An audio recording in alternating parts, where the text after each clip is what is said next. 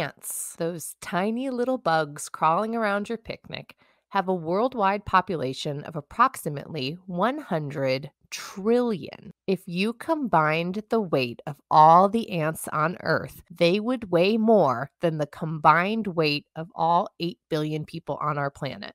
Gross.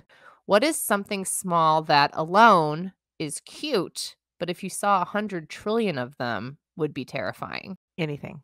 Challenge me on it. Name something, and then we'll think about a hundred trillion of them, and it's terrifying. Okay. Um, puppies. Terrifying.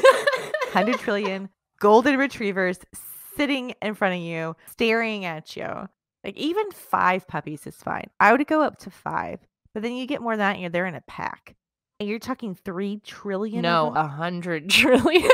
That just things. You we passed the threshold of trillion. You know, now it went from terrorizing to like, oh, now it's cute again.